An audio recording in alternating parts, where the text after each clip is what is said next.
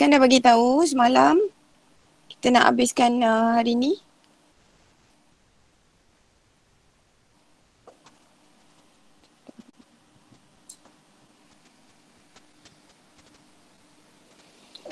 Okey, Ratna present ya. Ya, teacher. Okey, siapa yang uh, presenter?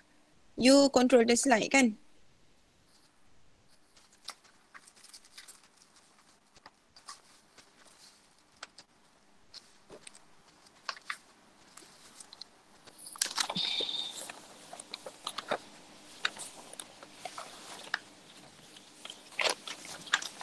Alright, yang lain dah ready eh?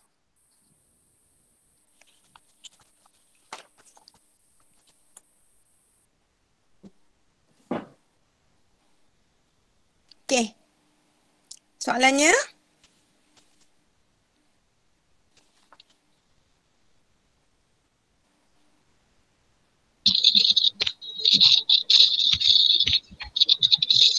Twelve A. Diagram 12.1 shows the wave pattern when wave, water wave move from sea to the beach. The wavelength change as the wave approach the beach. Okay. A. What is the meaning of wavelength? Wavelength is the distance between two successive crests or throat of a wave. Okay. Mana jawapannya? Yang What is the meaning of wavelength ya? Okay, you jawab tadi apa? The distance between? two successive crests or throat. Okay, so the distance between successive crest or throw of a wave. Okay, so jawapan ini kita boleh terima. Satu lagi jawapan ialah Okay, uh, the distance between two consecutive point that in a phase. Distance between two consecutive points that in phase.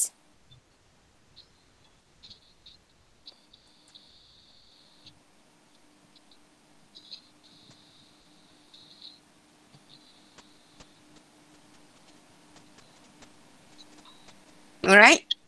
Dapat ya? Okay. Apa maksud consecutive? Right now? Uh, Consecutive. Apa maksud the distance between two consecutive point that in phase? You tertinggal point. Distance between two consecutive points that in phase.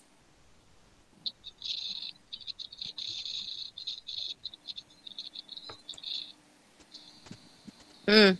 Consecutive point. Apa maksud consecutive points? Tadi you kata distance between successive crest or throw. Maknanya successive crest, crest jumpa dengan crest sebelah dia. So distance between dua-dua crest itu adalah wavelength ataupun throw. Jumpa dengan throw sebelah dia. So distance between the two throw itu adalah wavelength. Okay, adakah wavelength itu hanya mengukur crest dengan throw saja? Ha?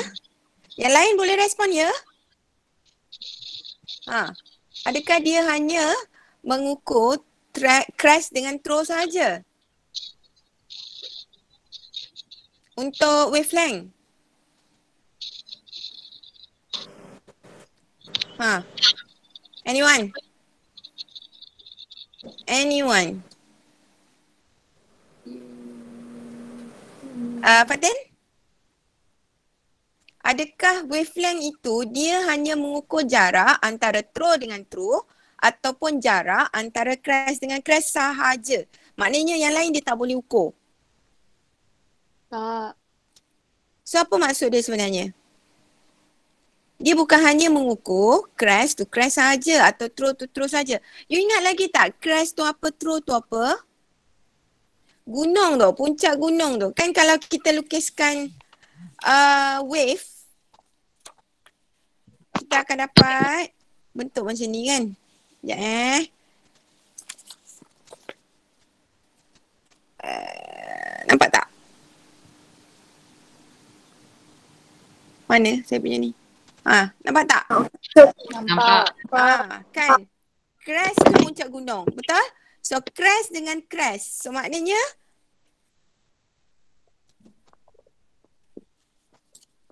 Ah ni. Ni. Hmm. Ah itu crash jumpa dengan crash. Betul? So itu ialah wavelength. Kalau throw maknanya bahagian yang bawah dia.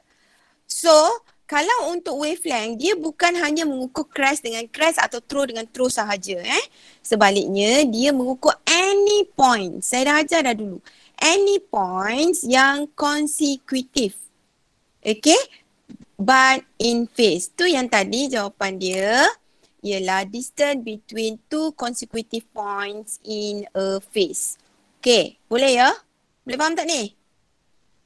Boleh. Boleh. Okay, so Boleh. next question. Okay, next question. B. Explain why the wave at the beach has low amplitude. Okay. The water at the sea is stationary compared to the water at the beach and the wavelength is constant. The Okay. depth of water change slowly across the area of sea and the energy of water wave spread to wider area. Energy Hmm, of okay. water wave decrease. Thus, the amplitude of water wave near the beach decrease. Okay. Alright. So sekarang ni soalan ni dia tanya uh, kenapa gelombang Okay, apabila dia sampai kepada pantai, dia mempunyai amplitude yang rendah. So sebenarnya amplitude ni dia more to kekuatan wave itu sendiri. Kalau amplitude dia besar, maknanya gelombang tu tinggi. Okay, you know, gelombang tu tinggi, dia punya ombak tu tinggi. So sekarang dia tanya, kenapa wave at the beach has low amplitude? Okay, so kita boleh kaitkan dengan fenomena refraction. Betul tak? So kalau di bahagian tengah lautan, okay, the water at the middle of the sea, kedalamannya is deeper compared to beach ataupun is narrow compared to the beach. Deeper. Deeper kan? So bila deeper, what can you say about the velocity of the wave at the middle of the sea? Apa kaitan kedalaman dengan hal laju gelombang? Ah, tinggi kan? Besar. Betul tak? Hal laju, kalau di, hal laju uh, the water wave, dia punya velocity bila kawasan itu ialah deeper, maka velocity-nya adalah higher. Betul? Kalau kedalaman the water is shallow ataupun narrow, maka dia punya velocity is lower. Alright? So sekarang ni, dah pergerakan wave itu ialah daripada tengah lautan menuju ke daratan. Okay? Kita tahu tadi at the middle of the sea, the water is deeper. Betul? Tapi kedalaman di tengah lautan tu, dia punya kedalaman tu adalah uniform. Dia dalam. Tapi kedalaman dia tu ialah uniform. Okay? Jadi hal laju dia dekat tengah laut tu adalah tinggi. Tetapi dalam keadaan yang yang uniform. Okay? So bila dia bergerak ke daratan, menuju kepada daratan, okay, daratan dia become shallower. So apa berlaku apabila water wave travel from deeper to shallow? Apa berlaku? Fenomena apa tu? Velocity decrease. Yes, velocity decreases. Jadi fenomena apa tu? Fenomena apa yang berlaku? Apabila. Water wave travel from Refraction. deeper to shallow water. Refraction. Refraction. Ah, uh, pardon? Refraction of wave. Refraction. Pembiasan. So refraction occurs. So apa berlaku bila refraction occurs? The water wave akan bend towards or away from the normal line.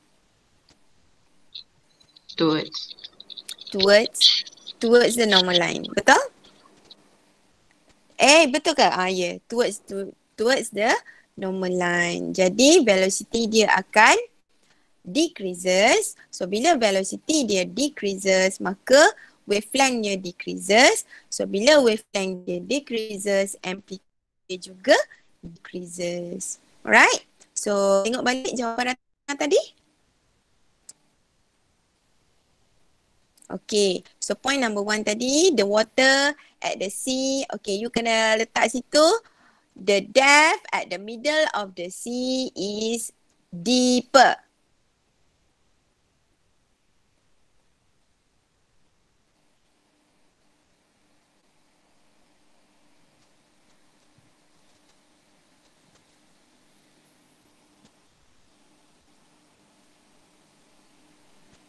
Okay, lepas tu, koma.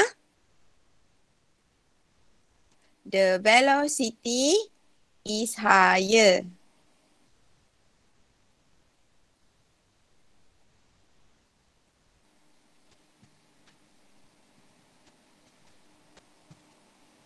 Okay, point number two.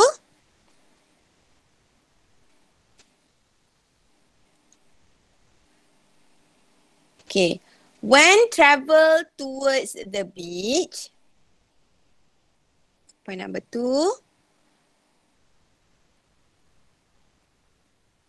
Okay, apa jadi dengan dia punya depth? Yuhu! What happened to the depth towards the beach? Shallow. Yes, the depth is shallower. Towards the beach, the depth is narrower atau shallower. Dua-dua boleh.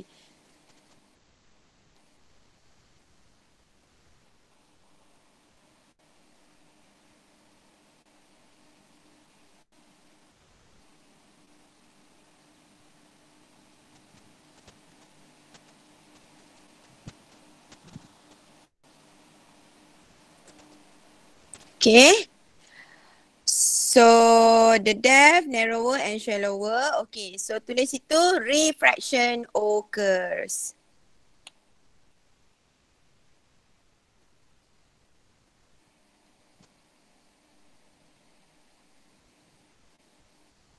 Refraction, ejaan refraction macam mana tu Ratna? Okay, uh, refraction occurs, comma, velocity decreases.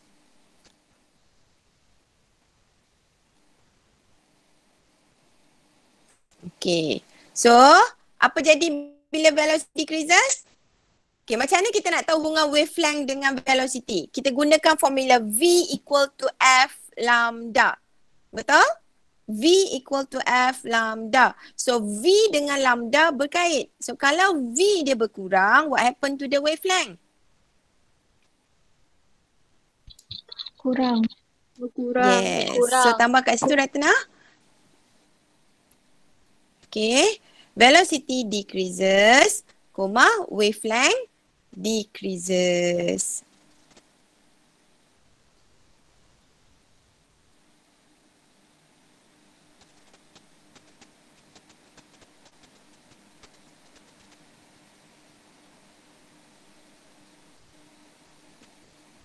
Okay, so point number four, wavelength decreases, amplitude decreases.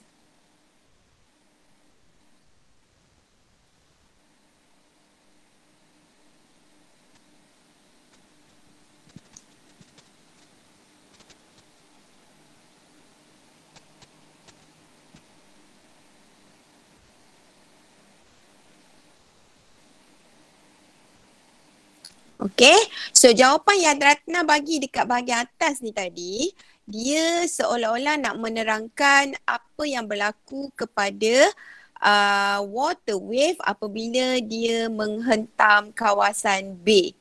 Yang Ratna bagi ni, yang jawapan Ratna tulis dekat atas ni ada water sea ada apa compare compared to the water at the beach wavelength is constant the depth of water change slowly across the area of the sea tu uh, yang ini dia lebih kepada uh, sebab dia kata situ energy of water wave spread to wider area energy of water wave decreases eh so this question is more towards the bay dia nak tanya what happened to the amplitude of the wave when uh, apa arrive at B. Uh, yang ini untuk jawapan B eh. So kalau untuk jawapan uh, amplitude eh sorry untuk jawapan yang dia hentam kepada beach uh, yang jawapan yang saya bagi tadi. Okay? Dapat ya? The depth of, at the middle of the sea is deeper so that the velocity increases atau velocity higher. Okay? So when travel towards the beach, the depth become narrower. So velocity decreases. So when velocity decreases, wavelength decreases. So wavelength decreases, amplitude dia decreases. Okay? Boleh? Hana? Humaira? Zar, uh, apa ni? Arisa? Okay eh? Boleh ya? Okay, very good. Okay, next. Ratna?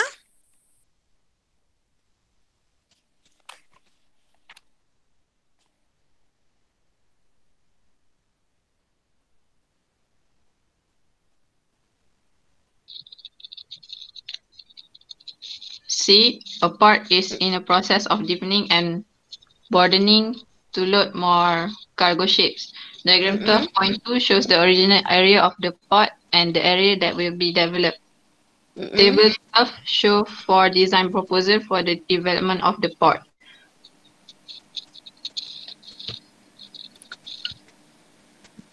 Okay, Ratna apa yang you faham tentang soalan ni? Dia nak buat uh, port. So ada empat empat cadangan. Okay, pelabuhan. So dia ada empat uh, pelabuhan yang dia beri di situ. So apa karakter-karakter yang terlibat dalam pembinaan uh, pelabuhan ni? Tujuan dia nak bina pelabuhan ni adalah untuk um, apa menempatkan lebih banyak cargo ship dan juga uh, apa lagi? Uh, safety. Okay, safety of the cargo ship. Okay, dari segi keselamatan dan juga lebih banyak kargo yang boleh ditempatkan. Okay, so itu dia punya mission untuk design uh, pelabuhan ini. So apa karakter-karakter yang diberi? Kalau you tengok, uh, you boleh besarkan sikit gambar ni eh. Yang the rest of you, you boleh pakai tangan je besarkan. Kalau you pakai iPad tu dia touch screen kan, you boleh besarkan je. You boleh nampak dia punya dia punya gambar tu. Okay, so dia ada small opening, big opening. Betul tak Ratna? Betul. Okay, lagi apa Ratna? Big opening, small opening, apa lagi dia bagi?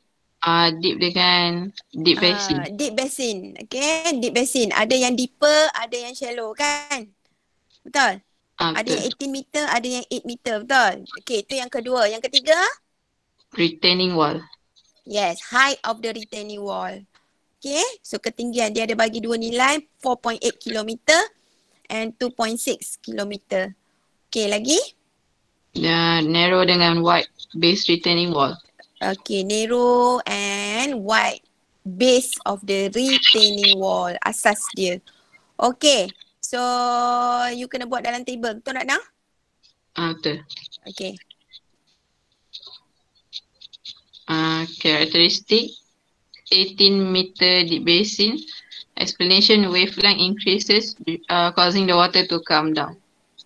Okay, so untuk soalan ini, awak atau you all tak boleh tulis nilai. Don't ever ever write the value. Contoh macam deep basin ni kan.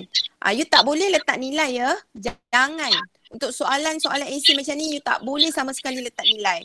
So you cannot write the value 18 meter tu. So you sekarang ni nak refer dia lebih dalam, betul tak? So you kena letak apa? Deeper Deeper deep basin. deeper basin atau high depth of basin. Tak boleh letak nilai. Okay, so betulkan. Deeper basin.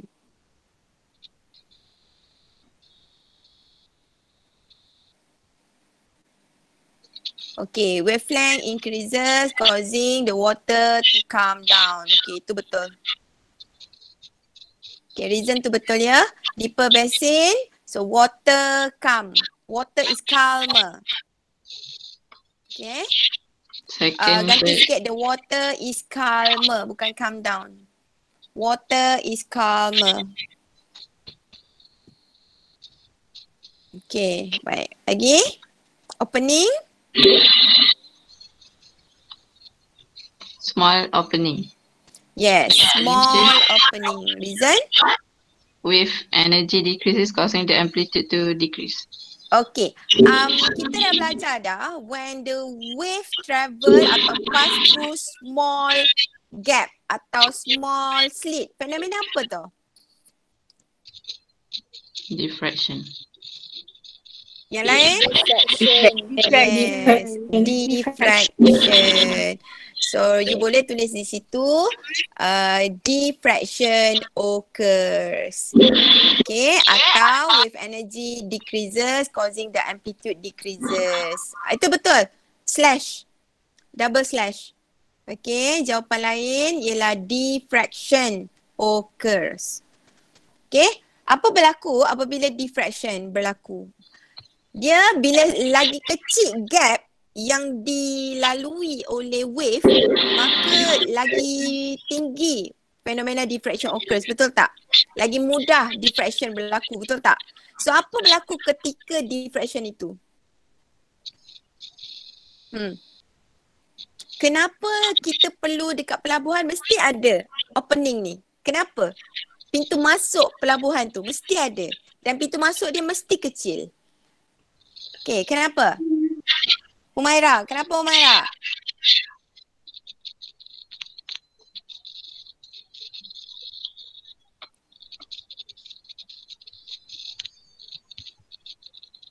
Ha, kenapa? Umaira? Oh, Umaira. Wavelength, mikrofon tu. Ah, ya. Yeah. Apa dia? wavelength dia increase. Wavelength- Wavelength dia increase. Wavelength dia increase. Kita nak terangkan, okay, apa kaitan wavelength tu? Bila dia pass through, apa kaitan? Apa kebaikan dia? Wavelength dia increase. Uh, water is calmer. Water is calmer. Okay, ada jawapan lain? Hmm, Nah, Hana? Amplitude. Amplitude dia apa jadi? Amplitude dia decrease. Okay, amplitude decrease. So, kalau kita sebut dalam bahasa yang mudah, amplitude tu sebenarnya apa? Ombak. Ombak yang kalau amplitude tinggi maknanya Kecil. ombak dia Tinggi. Tinggi. ombak dia tinggi. Kalau amplitude rendah maknanya ombak dia rendah. Jadi kebaikan diffraction, advantages of the diffraction ni ialah apabila uh, gelombang air tadi pass through smaller slit kan, smaller slit. Bila dia lalu smaller slit, maka diffraction occurs. Apabila berlaku diffraction, okay, uh, wave wave tadi tu dia akan spread dia punya energy. You faham tak? Energy dia akan spread over. Bila energy spread over, okay, ombak ataupun amplitude yang tinggi ni kan, ombak yang kuat ni dia bawa energy besar ke sikit? Besar. Ah, Besar. energy dia besar. Jadi bila dia pass small slit, okay, energy yang besar tadi akan spread over. Okay, bila dia spread the energy over, okay, energy dia akan decreases, betul? Energy akan decreases, betul? Betul. So kalau kita kaitkan energy dengan ombak tadi, ombak tu amplitude tinggi maknanya energy dia besar, betul? Sekarang energy dia dah decreases. So now what happened to the amplitude? Amplitude decreases. Decrease. Yes, amplitude dia decrease. That's why kita perlukan small opening ini di pelabuhan supaya ombak yang tadi kan besar di tengah-tengah lautan tadi tu, okay, bila dia masuk melepasi slit tadi, ombak yang besar tadi yang bawa energi yang besar tadi, dia dah spread over. Bila spread over, energi dia dah spread over, amplitude dia akan berkurang. So apa kebaikan dia? Kapal-kapal yang berlabuh dekat pelabuhan tadi tu tidak akan dihentam oleh ombak yang kuat. You pernah tengok tak? Ombak yang kuat menghempas kapal-kapal. Pernah tengok tak? Benar. Apa jadi pada kapal-kapal tu? Balik. Karam. Terbalik, pecah, rosak, kan? Hentaman ombak dia kuat kan? So that bila dia berlabuh di tep- di pelabuhan, okay, kita nak ombak yang masuk itu kena tenang, kena rendah dia punya amplitude so that dia tidak merosakkan kapal-kapal yang sedang berlabuh. Okay, So that's why kita perlu ada diffraction di pelabuhan. Macam mana nak menghasilkan diffraction? Pintu masuk ke pelabuhan kena besar atau kecil? Kecil. Yes, very good. Smaller opening. Okay, back to the question tadi. Uh, yeah, smaller opening. So wave energy decrease causing the amplitude decrease. So kita boleh slash diffraction occurs. Okay, eh? faham ya? Ada apa-apa nak tanya? Adelina nak tanya apa-apa? Dini? Boleh? Boleh? Boleh, Fatimah teacher. boleh? Okay, very good. Okay, sambung.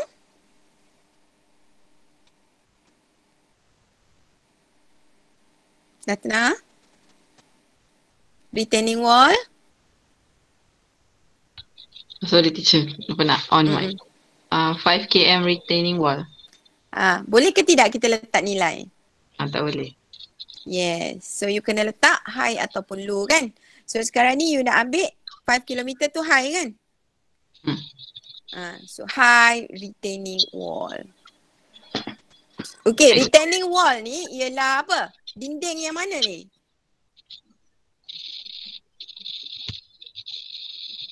Yang dinding yang mana? Tepi opening dia. Retaining wall. Yes. So maksudnya kalau kalau dekat opening tu mana retaining wall dia? Ah, yang panjang tu ialah retaining wall betul? So dekat pintu masuk tu tadi kita dah mengalami diffraction tapi di bahagian sebelah retaining wall kan dia tak ada refraction. So ombak dia still lagi still lagi kuat. Kuat. Betul. Jadi di kawasan tepi-tepi tu air yang kuat, ombak yang kuat tadi boleh melimpah masuk ke dalam pelabuhan. Betul tak? Ha, jadi ombak yang kuat tu boleh spill over towards the retaining wall. Kalau retaining wall itu low. So reason dia sebenarnya apa? More stable and can adapt to high pressure. Yang saya cakap tadi. Prevent water to spill over. Yes, prevent water to spill over. Ratna, Okay. faham tak? Ah, faham.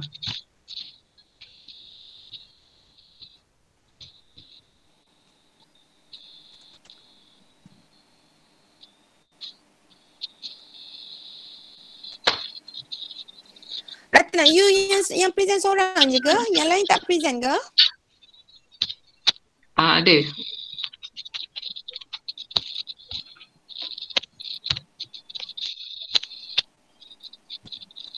Sekejap teacher. Hmm. Okey, lagi? Habiskan?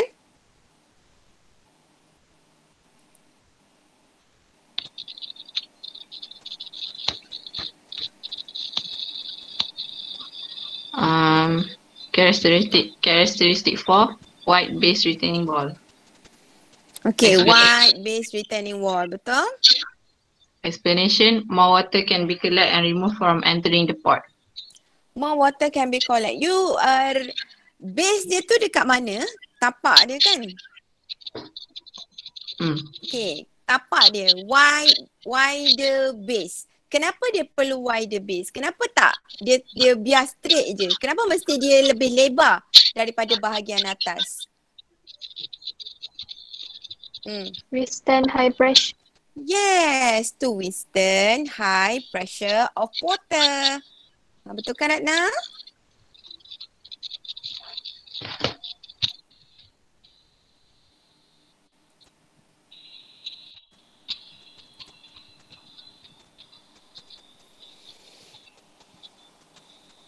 Okay. Alright, so daripada semua yang you pilih ni, okay, manakah uh, design P, Q, R dan S yang you rasa paling sesuai? Design R. Yes, design R. Okay, so salin balik. Uh, deep basin. Okay, tak payah, tak payah letak dia punya explanation dekat bahagian bahagian ni ya. You just salin aja dia punya karakteristik sahaja. Tak perlu explanation lagi.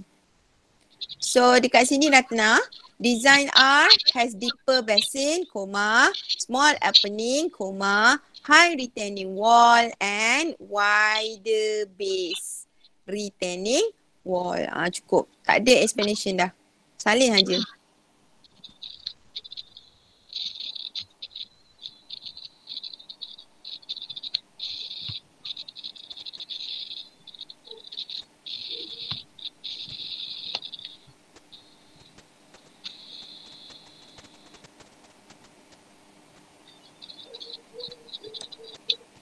Okay, yang lain ada apa-apa soalan? Teacher, Yes. Siapa yang bertanya tu? uh, nak tanya pasal uh, Balkis. Okay, Balkis. Yes. Nak tanya pasal uh, wider base retaining wall tu. Uh-uh. Uh, macam mana nak, uh, maksudnya uh, explanation macam mana teacher? Kenapa kena pilih wider? Wider tadi tu? Withstand high pressure of water? Dia sebenarnya ni dia kat bahagian dalam ni. Base retaining wall tu ialah bahagian bawah yang yang dia tanam dekat dalam laut. Faham tak? So kita tahu semakin dalam air semakin besar tekanan dia. Betul? Jadi Betul. base itu berada di bahagian dalam di dasar lautan. So that the pressure is very high. Right? Jadi you kena base dekat bahagian bawah tu have to be wider Balkis. Okay, faham teacher, faham, faham. Ah, okay dia sama macam uh, apa tu nama dia? Dam, dam. Tahu dam? Dam apa bahasa Melayu? Empangan. Ah, empangan. Ah, bahagian dalam dia tu kena wider. Bahagian base bawah dia tu kena wider. Okay, to withstand the high pressure of water. Okay, very good. Next question. D, siapa present? Ratna? Uh, other than you? Okay. Yes.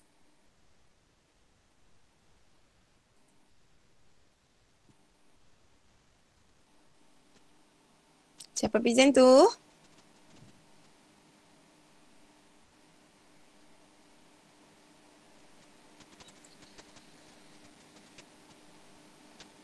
Ratna? Ah, kejap teacher saya tengah tanya siapa nak present pula. You tak decide siap-siap eh siapa present?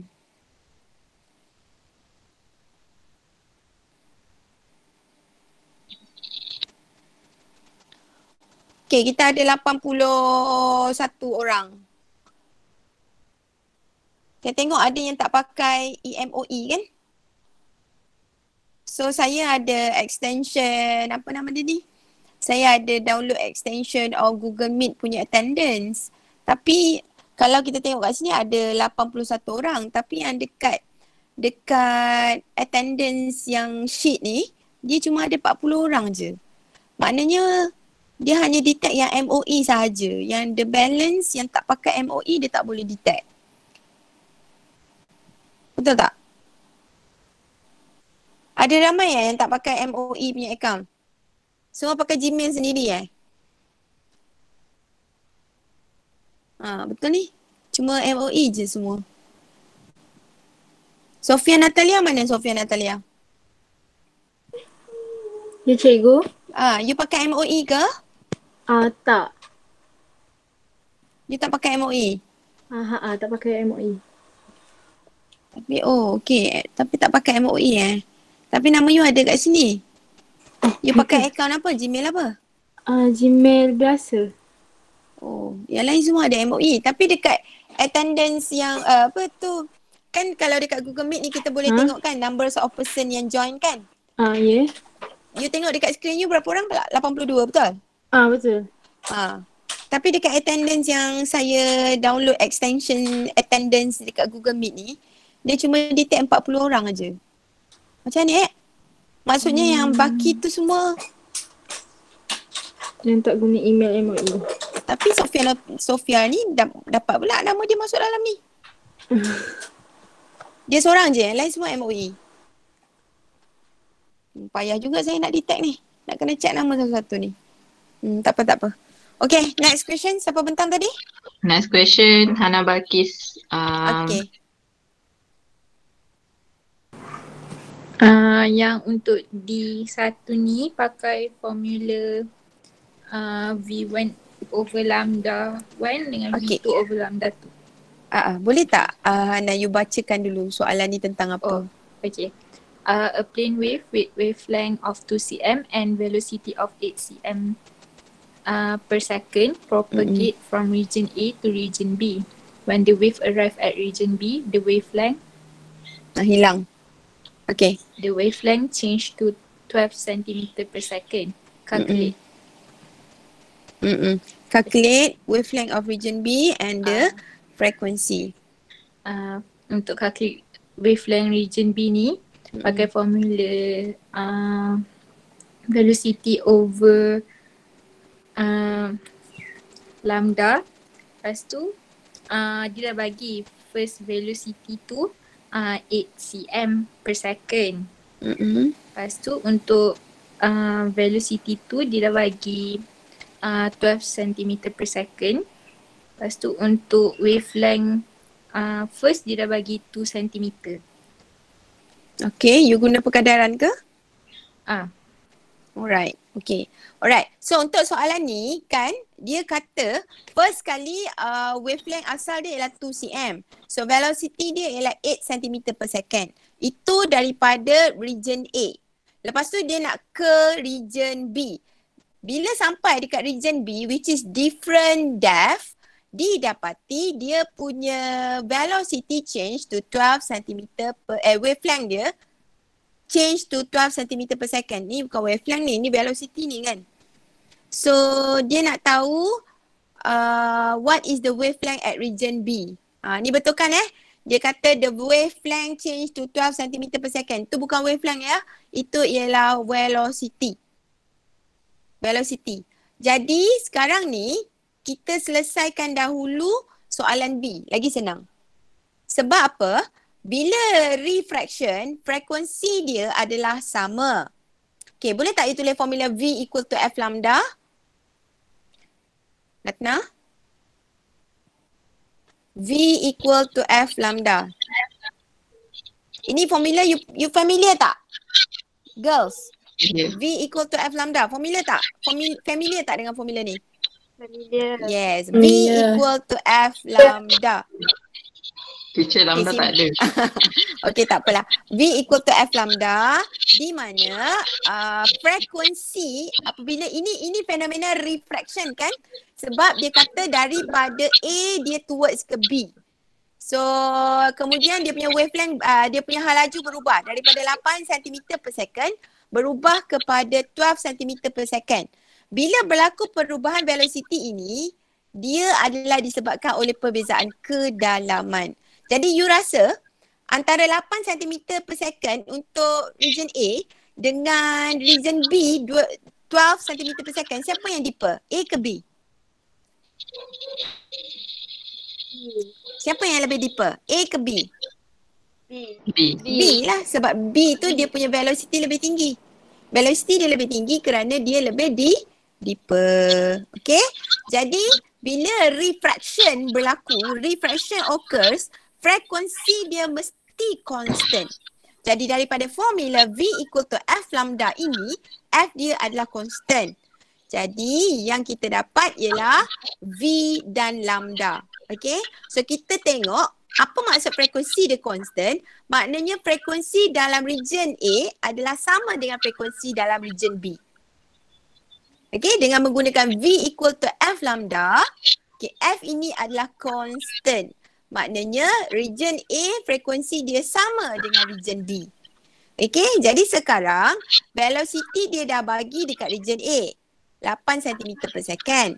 Lepas tu wavelength pun dia dah bagi untuk region A. Boleh tak you cari frekuensi? Boleh. Boleh kan? So you dapat berapa frekuensi? You dapat 4 Hz. Betul? 4 Hz. So daripada 4 Hz ini, kita guna balik V equal to F lambda untuk soalan nombor satu ni. Faham tak? So V kita tahu 12 cm per second. F dia kita dah kira tadi dekat 2, force hertz. So lambda dia kita boleh kira lah. Faham? Ha, kalau kita, ah, tapi you kena kira frekuensi dululah. Okay? Mana yang tak faham macam mana dapat perkadaran ni, ah, kita boleh kira terus menggunakan formula D2 tu. Kita kirakan frekuensi untuk soalan 2 tu dulu. Boleh faham tak? Kita dah dapat D2 tu, frekuensi dia adalah 4 Hz. Betul? 4 Hz, frekuensi dia adalah sama dengan region B. So kita gunakan balik formula V equal to F lambda untuk region B. So wavelength kita nak cari untuk B. So velocity dia dah bagi 12 cm per second. Boleh tak uh, siapa ni? Uh, Ratna, kita type sikit untuk soalan nombor satu tu. V equal to F lambda, bawah dia V dia 12. Okay, 12 cm per second tu 12. Tak payah, V tu you padam. Tulis 12 saja. 12 sama dengan sama dengan Okay, F dia 4 kan? Ah, F dia 4. Okay, lambda. 4 lambda. Yes. Ah, so lambda sama dengan berapa tu? 12 bagi 4 sama dengan 3 sentimeter.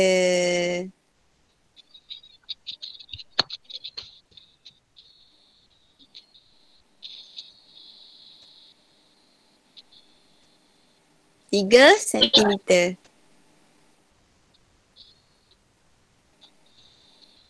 Okay. So ini untuk soalan number one. Dapat tak? Boleh tak? Dapat. Ha, okay. So untuk D1 yang uh, Ratna tunjuk sikit jalan kerja yang you buat, you sendiri buat ni. You dapat berapa tu? 3 cm juga kan? Ha. Ha, okay. So dua, dua cara boleh guna eh. Satu cara yang Ratna buat untuk perkadaran V1 sama dengan lambda 1. Sebab apa ni? Ini sebab apa dia dapat V1 sama uh, V1 per lambda 1 sama dengan V2 per lambda 2? Sebab apa dia dapat ni? Sebab frekuensi dia sama. Yeah. So kalau you nak guna formula eh, nak gunakan cara Ratna ni, you mesti nyatakan F A adalah sama dengan F region B. Kan daripada formula V equal to F lambda, V equal to F lambda, bila F F sama dengan V per lambda, betul tak? So yang dia jadi, bila F satu F region A sama dengan F region B, maka V A lambda A sama dengan V B lambda B. Okay? Faham ya? Faham. Boleh? Ha, okay. Baik, settle? Dah. Okay, settle untuk soalan uh, 2017 JUJ eh. Okay, so saya sambung juga dengan soalan uh, essay juga sebab essay ni dia critical sikit eh. Alright, saya nak tengok soalan nombor 9, 10 dan 11 eh. Dia ada tiga saja essay ya untuk soalan ni. Section C hanya ada satu saja Ah. soalan ya. Okay, baik. So saya tak nak orang yang sabar present. Untuk soalan nombor 9, uh, 4F yang belum present lagi siapa?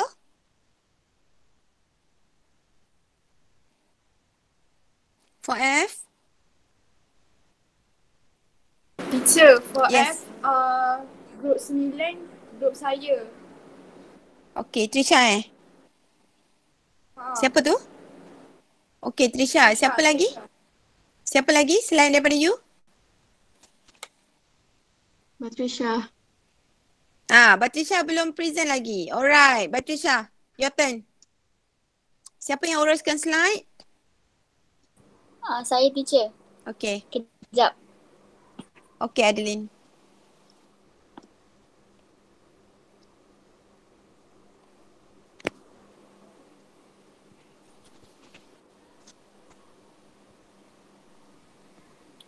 Teacher dah nampak kan teacher? Nampak, nampak.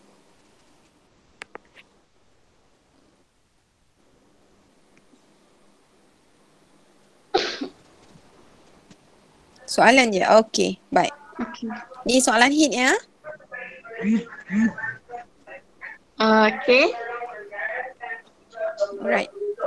So diagram 9.1 and diagram 9.2 shows an aluminium block and a copper block of mass 1 kg each is heated for 5 minutes using an immersion heater labeled 100 watt. Eh, 1000 watt. Mm-mm. 240 volt. The rise of temperature is recorded after it was heated for 5 minutes. Mm-mm. So given specific capacity uh, of aluminium is 902 joule kg Per degree Celsius. per degree Celsius. Mm. Okay, so question number one.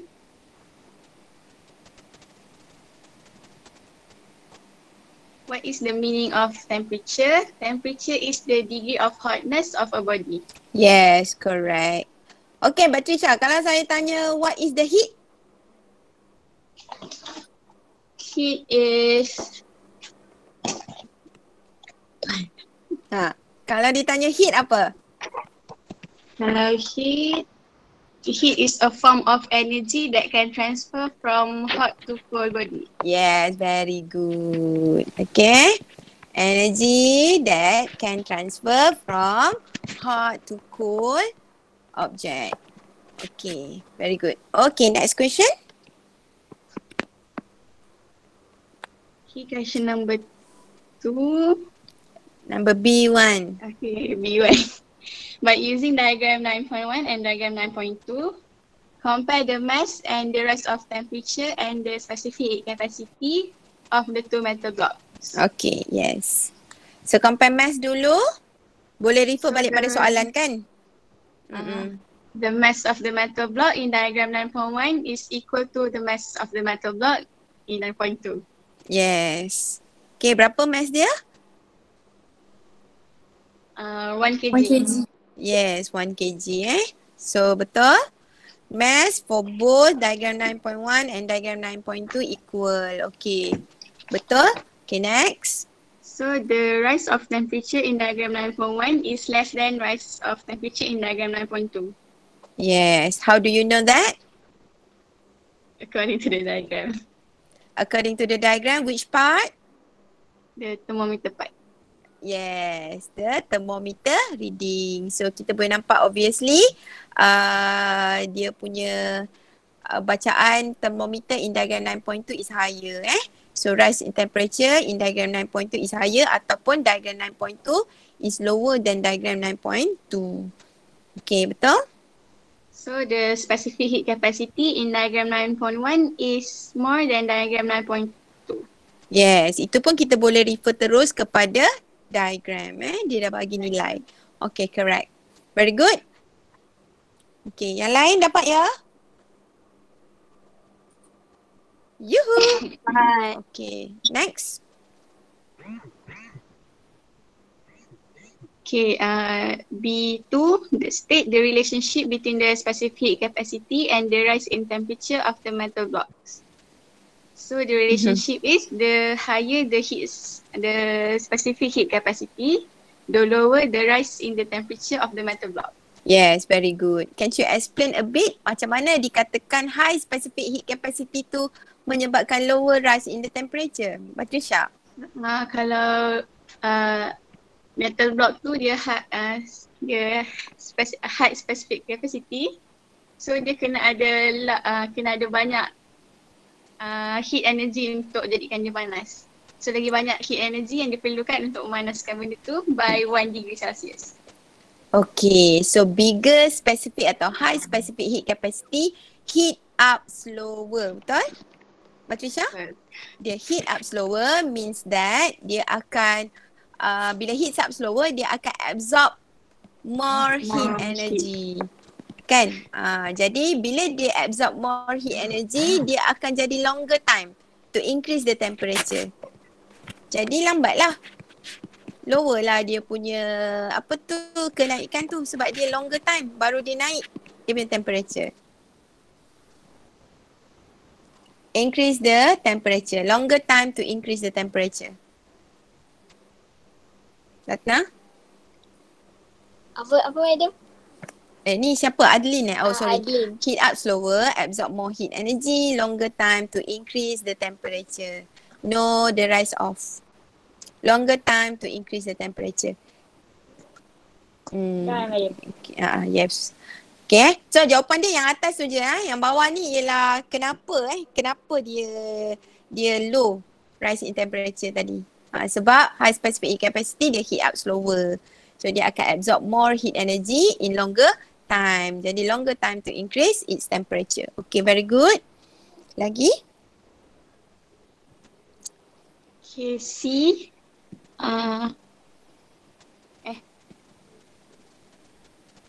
Ni B2 eh. B3. Uh, B2, B2. Eh, B3. Yes, B3. Soalan ni dia Okay. salah sikit dia label. Uh, state the physical quantity that must be constant to deduce the relationship as in 9B2. Okay. So physical So, the quantity physical constant? Quantity constant, the power supply and the mass of metal block. Yes. The power supply dia ada bagi power supply sama eh? Ha Uh, madam. power supply dia tadi 1000 watt. Okay, 1000 watt. Okay. Okay. So kita boleh letak situ sebab jawapan dia markah satu je kan? Okay. So sebenarnya kalau kita tengok dekat sini, uh, kalau untuk specific heat capacity, formula dia Q equal to MC theta. Betul? Betul. Ah, jadi uh, yang kita tengok perubahan tadi antara C dan juga theta, kan? Jadi mass tu kita constantkan dan juga Q dia. So Q dan M dia kita constantkan. So Q itu adalah heat. So heat dalam soalan ini datang daripada power dia. So power darab dengan time eh. Jadi uh, power dia kita boleh terima juga sebagai constant eh.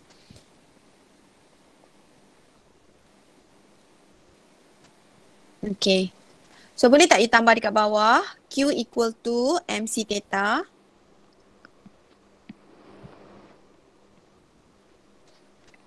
Okay.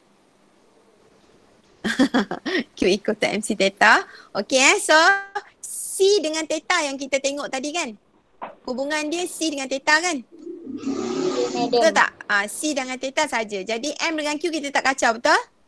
Betul. Ah, so Q constant, M pun constant. Q constant. Tulis tu Q constant, M pun constant.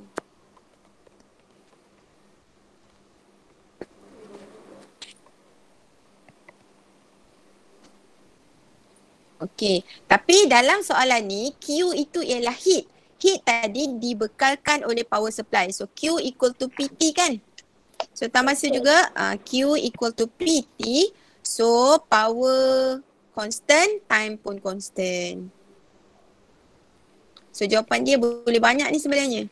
Uh, power constant, time pun constant. So bukan sahaja power supply eh. So power supply pun boleh, Q pun boleh, time pun boleh. Okay. Okay, so kita ambil jawapan yang kat atas ni lah eh. Ha. So semua jawapan tu kita boleh terima. Alright, thank you. Lagi soalan uh, seterusnya? D? Soalan D. Eh soalan D ke soalan C? Diagram 9 pun. Soalan C, C. C. Explanation Okay. thermometer. Aha. So soalan C, a clinical thermometer is used to measure the temperature of a sick patient. Explain how the temperature of a sick person can be measured using a using the clinical thermometer. Mm-mm. Okay, macam mana nak explain? Okay, you cerita dulu apa yang you faham, Batrisha? Sebelum you tengok dia punya jawapan tu. Macam mana nak ukur? Thermometer tu kena buat apa? First Ah. sekali.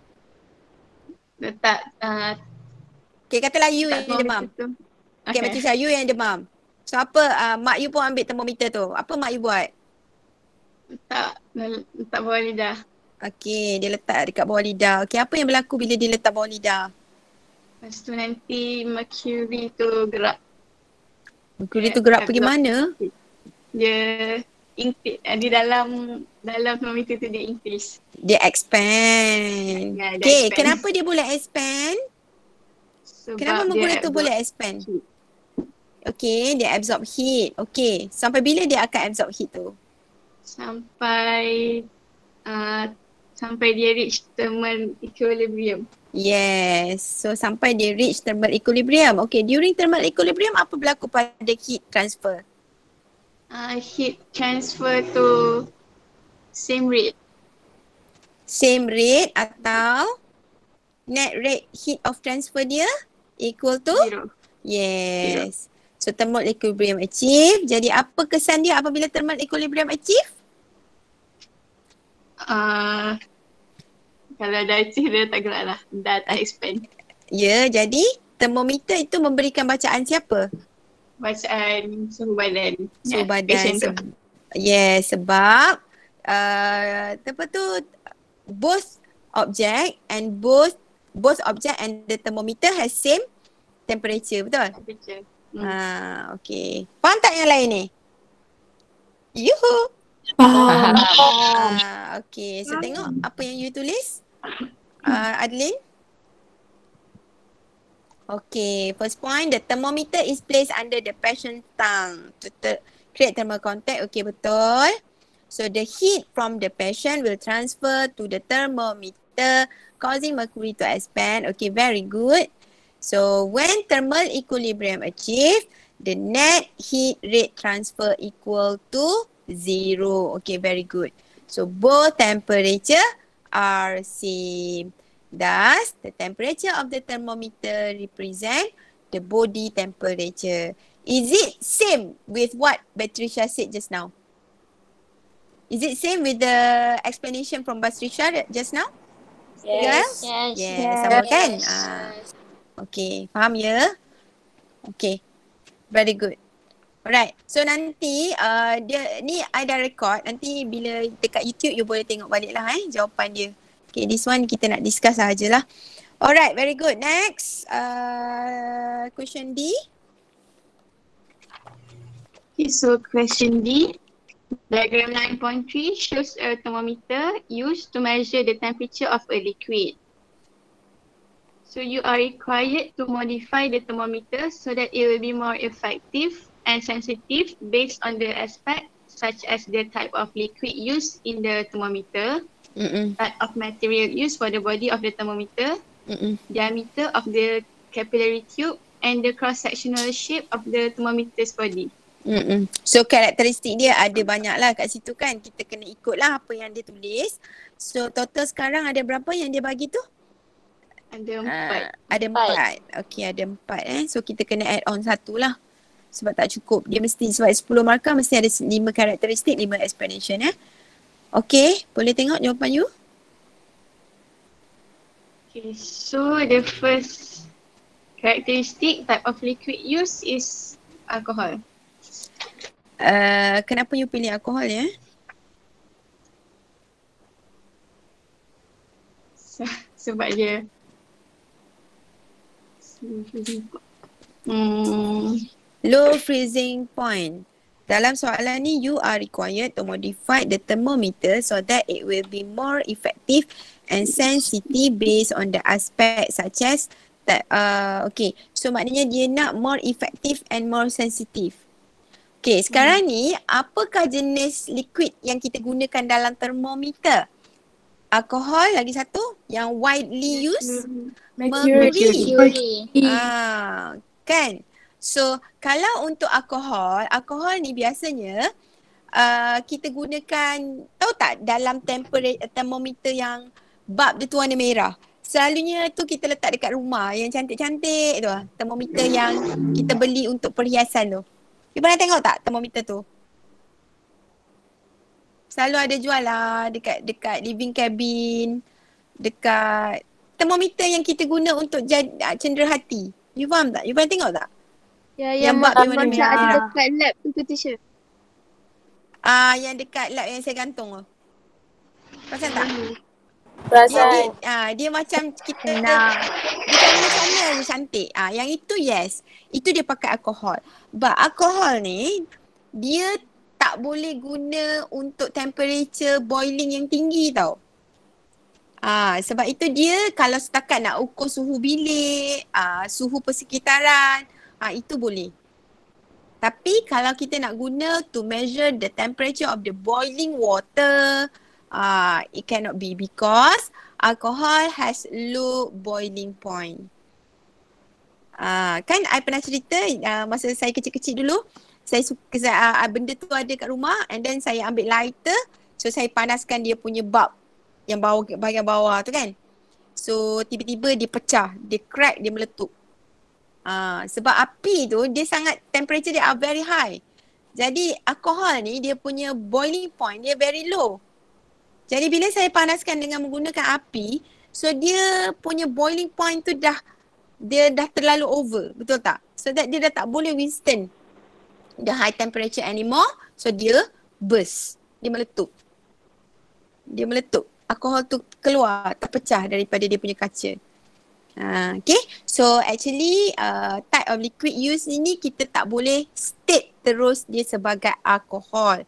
Okay, so it's better you write down as the liquid has high boiling point.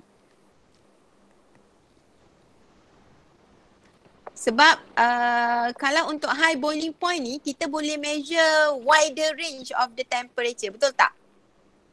Betul tak? Kalau alkohol tadi dia ada low boiling point. Jadi kalau low boiling point kita nak guna untuk apa? You nak guna temperature tu untuk apa? You nak gunakan thermometer tu untuk apa? Is it widely used? Kalau you gunakan no. uh, liquid yang low boiling point ni, is it widely used? No. No, it just no. can measure a small range of the object. Betul tak? Uh, temperature untuk persekitaran, yes of course. Tapi but you want to measure the boiling water, uh, you tak boleh ukur. Betul tak?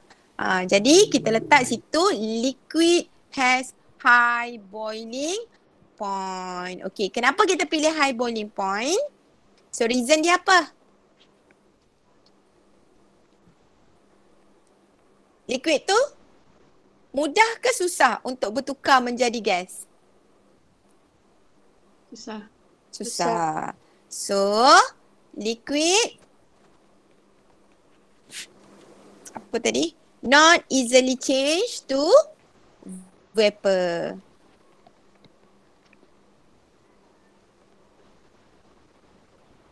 Okay. Eh? So liquid has high boiling point tu you tak payahlah tulis widely used so padam je. Okay.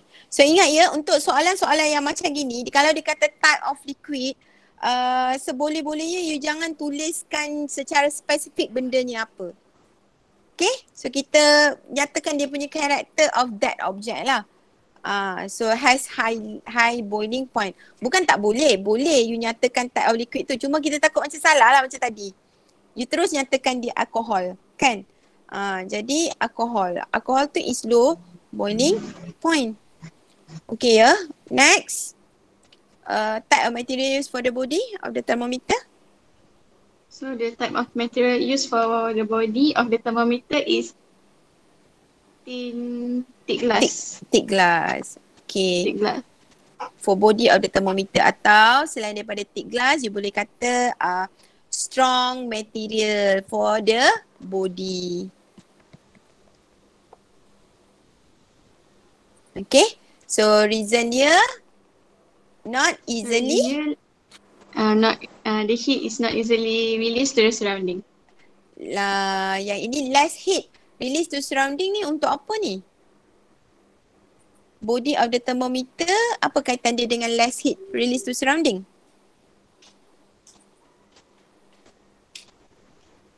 Apa kaitan dia dengan less heat release to surrounding? Sekarang ni uh, liquid yang ada dalam thermometer tu dia akan absorb heat from uh, apa sahaja benda yang kita nak ukur betul tak? Jadi apa maksud dia less heat release to surrounding? Actually untuk material used for body tu body yang kita gunakan untuk thermometer tu adalah bertujuan untuk protect dia daripada dia patah. Betul tak? Kalau you pakai yang yang apa plastik ke apa ke kan dia mudah mudah koyak Kan? Uh, jadi material used for the body of the thermometer. Kenapa you pakai thick glass? Kenapa you tak pakai thin glass?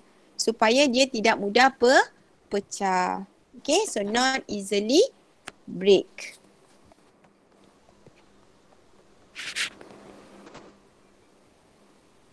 Okay, ada soalan tak yang lain? Aisyah? Boleh ya? Tak ada. Okay, Boleh. next. Hmm. Okay, lagi? So next characteristic, small diameter of the capillary tube. Okay, betul. Smaller diameter of the capillary tube. Okay, betul. Higher sensitivity. Maksud dia, okay, you slash dekat situ. Okay, higher sensitivity atau okay, able to detect small changes in temperature. Ah, kan? Kalau tiup dia halus, okay, bila dia mengembang sikit je, perubahan dia naik tu nampak. Betul tak? Betul ke tak? You faham tak maksud dia? Capillary tube ni ialah saluran di mana kita letakkan merkuri dekat dalam dia. You boleh tengok balik gambar raja. Mana gambar raja tu tadi? Tengok balik gambar raja 9.3. Adeline? Ah yes. You boleh besarkan sikit tak? Yang lain tu you boleh pegang kat skrin, you boleh besarkan sikit. Okay, you nampak eh? Nampak tak label capillary tube tu? Yuhu. Ah, capillary tube tu nampak? Kalau saluran capillary tube itu dia kecil, bila merkuri itu mengembang, perubahan sedikit yang merkuri itu mengembang tu dia akan naik dengan banyak. Betul tak? Faham tak? Betul. Ah, Oh. kalau capillary tube tu besar, bila merkuri itu mengembang, kenaikan dia tu nampak ketara atau tidak? Tak. Tak nampak ketara. Ah, itu yang dia perlu di- diameter dia kecil.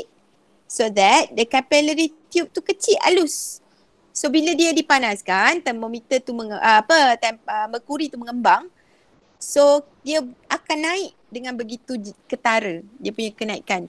So itu yang kita tulis able to detect small changes in the temperature. Perubahan yang kecil pun uh, kita boleh baca.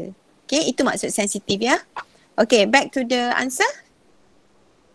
Yes, able to detect small changes in temperature atau high sensitivity. Okay, next. Okay, next characteristic has high and curved glass bores, term and cross section. Yes, thick and curved glass ball. Atau has thick and curved cross section. Okay. Reason? The reason is uh, has strong and heat uniformly. It's Okay. strong and heat uniformly. Okay, so dia sebenarnya dia lebih kepada bentuk kan sebab soalan ni dia tanya uh, dia tulis kat situ cross sectional shape. Betul? Uh, jadi tick tu kita potong. Has curved glass ball cross section. Okay, has curved glass ball stem tu potong. Eh sorry, uh, stem tak payah potong pun tak apa. Uh, apa glass ball stem cross section. Okay. So strong tu potong. Okay, heat uniformly. Okay, betul. Lagi? Okay. Um, the other characteristic is has ha, has minimum size scale with small division. Okay, minimum size scale with small division. Okay, increase the sensitivity. Boleh? Okay, atau you boleh juga letak uh, Okay, balik semula kepada gambar termometer tadi. Okay, you tengok dekat glass bulb tu. Okay, yang itu pun kita boleh tambah juga. Uh, glass bulb perlu tebal ataupun perlu nipis? Glass bulb. Tadi tengok balik gambar tadi. Thin wall. Ah, tengok balik gambar tadi Adlin. Ah ni. Ga- glass bulb. Kan? Ga- glass bulb ni dia dalam dia tu ada merkuri kan? So glass bulb dekat luar dia tu. Thin or thick glass bulb? Tin. Okay, kenapa perlu tin? Can detect easily. Heat able to transfer faster, betul tak? Kalau dia Betul. tebal, dia akan longer time untuk sampai kepada merkuri, betul? Sebab dinding dia tebal. Tapi kalau nipis, maknanya heat daripada air panas ke apa ke easily transfer to the merkuri, betul? So instead of you tulis yang tadi tu pun boleh tambah lagi dengan satu lagi karakter tin glass bulb. Ah, okay. So mana-mana lah. Yang ni pun boleh. Has minimum size scale with small division, increase the sensitivity pun boleh. Atau you tambah yang lain. Tin glass bulb. Reason dia ialah heat up faster. Hmm. Dia sepatutnya berada dalam kotak yang lagi satu eh. Okay tak apalah. Kita tambah je macam tu. Okay so you faham eh. So maknanya kita ada satu, dua, tiga, empat, lima. Ada enam karakteristik. Ah, so dia nak mm, lima kan. Tapi tak apa. Kalau you bagi lebih pun tak apa. Okay. So tin glass bulb ni sebenarnya dalam kotak yang bawah eh. Satu lagi kotak. Karakter yang lain. Okay. Very good. Okay habis untuk soalan number nine. Okay number Thank you, ten. Uh-uh. Thank you Patricia. Thank you Adlin. Very good ya. Yeah. Number 10 uh, for B. Eh for B tadi dah. For S. For S siapa present? Saya tak nak orang yang sama. Ada number 10 for F. Ha?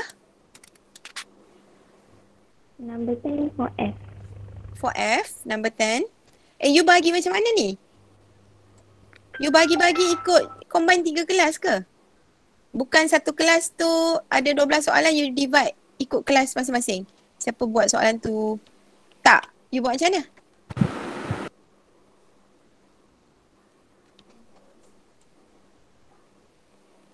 Yang tadi si siapa Batricia tu for apa? F. For F kan? Soalan 10 ni boleh tak saya nak for S?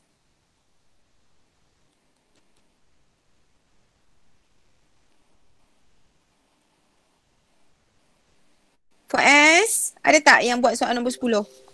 Um, teacher- Jat teacher. Hmm.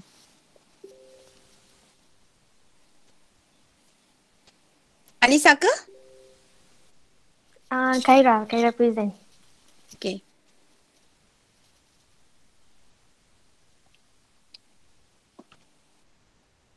Okay, Kaira.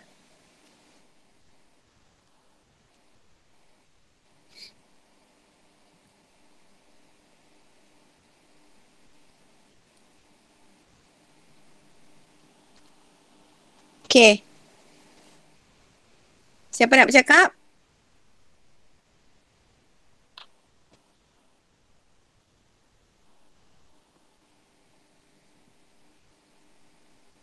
You dah on mic ke belum tu?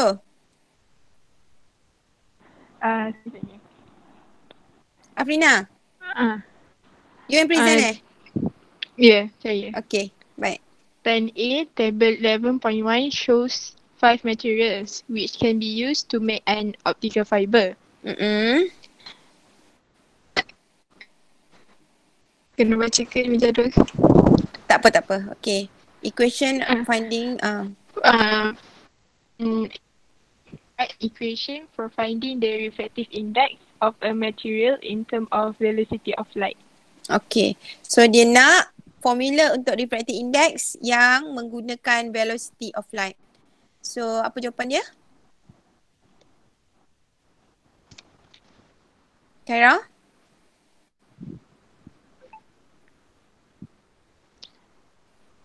Uh, refractive index equal to speed of light in vacuum Mm-mm. over speed of light in medium. Yes, okay. Refractive index equal to speed of light in vacuum divide by speed of light in medium atau you boleh tulis formula dia V eh sorry. Uh, refractive index simbol dia bukan N eh. Refractive index you tahu kan simbol N simbol dia N yang apa tu? Tahu kan? Macam mana nak cakap eh? Refractive index tu dia punya dia punya ni. Nanti saya letak whiteboard lah kat sini. Susah nak explain kat awak ni. Tu tu. Okay? So vacuum uh, C eh? C over V. Boleh tulis sikit tak Kaira? Tak boleh conteng eh Kaira? Kaira Iman. Ah yes, C over V. Okay. C over V. Okay, di mana halaju cahaya dalam vacuum berapa tu Afrina? C tu nilai dia berapa tu? Speed of light in vacuum. 3 times 10 to the power of 8 meter per second. Itu ialah halaju cahaya dalam udara atau dalam vacuum. 3 times 10 to the power of 8 meter per second. Itu nilai untuk C ya. So velocity V yang dalam medium it depends. Uh, kalau dalam air berapa kelajuan dia eh. So speed of light in vacuum atau speed of light in air ni you kena tahu nilai ya. 3 kali 10 kuasa 8 meter per second. Itu kelajuan cahaya. Jangan tak tahu pula eh. Ini standard ni basic ni. Kelajuan cahaya 3 kali 10 kuasa 8 meter per saat. 10 meter per second. Meter 10 to the power of 8. Macam mana nak lukis 10 to the power of 8 tu? Tak ada apostrofi. Okay, alright. Bolehlah tu. Okay eh. Negative one. Tak apa, tak payah apostrofi. Negative one je. Ah, okay. Okay. Divide by speed of light in medium. Okay, very good. Lagi?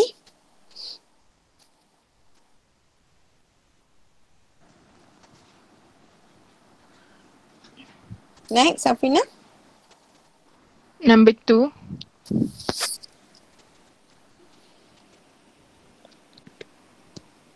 With the help of a diagram, explain the working principle of an optical fiber. Ah, jeng jeng jeng. Optical fiber tahu tak? Tahu tak? Siapa yang tak tahu optical fiber raise your hand. Ada button raise hand kat situ. Ada ke yang raise hand ni? Macam tak ada je. Eh tak ada respon pun. Okay. Tahu, tahu Ah, teacher. Optical fiber. Oh. Okay. So boleh lukiskan. Ada ada siap kan lukisan dia? Macam mana rupa dia?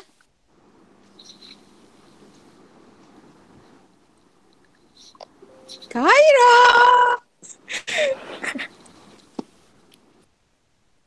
Kau lukis ke tidak Kaira? Amboi mentang-mentang lah jadi slide presenter kau pun bisu eh. Eh Kaira? Mana budak Kaira ni? Tak menyaut pun dia. Kaira Iman binti Muzaffar. Eh, teacher. Ha? Mana tak nampak muka kau? Ah. Kau tak on kamera eh? Okay, mana gambarnya?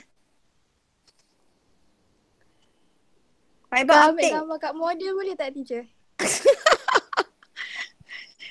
Tak, tak lukis eh? Ha, boleh lah, Tak. tunjuk je lah. Mana? Jap. Okay, optical fiber ni selalunya widely used ni sekarang ni kalau untuk teknologi terkini ni diguna dekat mana eh? Fiber optic ni? Unify. Yes, unify cable. Tahu kan? Yang unify Tahu. tu. Hmm. Okay. So dia gunakan uh, fenomena apa tu? Afrina?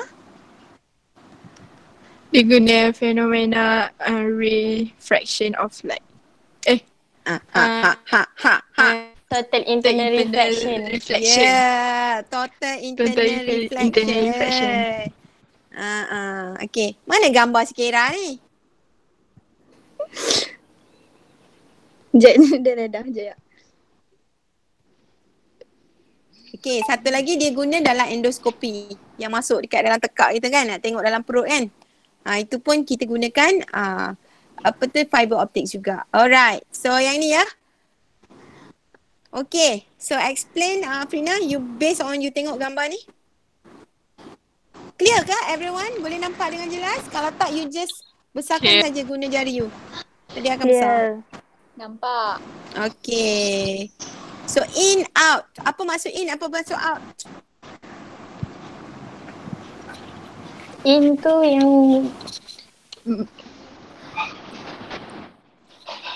Itu maksud uh, Itu objek ke? itu dia, dia in, inner layer. Ah, ya. ha. In tu apa? Katalah benda ni kita letak masuk dalam perut. Telan. Nak tengok apa ada dekat dalam perut awak. So yang bahagian in tu apa? In itu dekat bahagian luar ke dekat bahagian dalam perut? Tu tu. Kan Ada in dengan out. Hmm.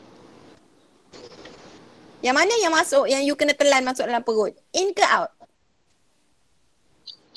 Out. Kenapa pula out? In lah. Sebab cahaya tu datang daripada dalam perut you. So out tu ialah mata yang nak tengok apa ada dalam perut you. Betul tak? Betul. Faham ke tak faham ni? Faham. Ha, nak tengok apa yang ada dalam perut you. So kamera you akan masuk. You telan dengan kamera tu sampai dekat dalam perut. Betul tak? So kamera tu akan rakam apa yang ada dalam perut you. So signalnya dihantar masuk ke dalam fiber optik dan dia keluar kepada receiver. So receiver tadi diterima di luar dan ditukarkan kepada image yang dipaparkan pada skrin dalam bentuk video dan sebagainya. Faham ke tak? So video yang you nampak ataupun kamera yang you nampak pada skrin tadi adalah gambaran sebenar yang ada dalam perut you. You faham tak? Endoskopi. Faham. Endoskop Faham. yang masuk dalam perut nak tengok ada luka kat dinding perut ke apa ke endoskop. Nak tengok. So dia pakai fiber optik. Yang satu lagi yang dia jolok kat bawah. Ada buasir ke apa kat usus besar pun boleh juga. Jolok kat mana tu? Eh, eh tak menyaut semua orang eh. Ah, tu dia Bawah. jolok kat mana tu? Lalu bawah. Ah, lalu bawah eh. So dia pun sama juga proses dia sebab kalau lalu dekat atas kita te- telan kat tekak dia sampai kat perut je. Boleh sampai usus tak? Tak. Ah, so kalau nak lihat apa yang berlaku pada usus besar, dia kena lalu bawah. Ah, pun sama juga. Nak tengok apa yang berlaku dekat dalam usus tu dia guna fiber optik. Okay? Ada pengalaman ke? Kalau yang endoskop Tak lalu ada. tekak ni biasalah kan. Ah. Kalau yang lalu bawah belakang tu ah, saya pun tak ada pengalaman. Ah, okay? So sekarang ni macam mana ni Afrina? You nak ceritakan sebab soalan dia tanya prinsip kerja. Four marks. uh, the external wall of a fiber optic is less than the internal wall. Okay. So maksudnya Mm-hmm. dekat luar tu mesti less dense. Dia ada dua lapisan dinding kan? Yes. Ah, dinding di bahagian luar mestilah less dense. Dinding di bahagian dalam mestilah more dense ataupun denser. So itu point number one. Okay, kemudian apa berlaku?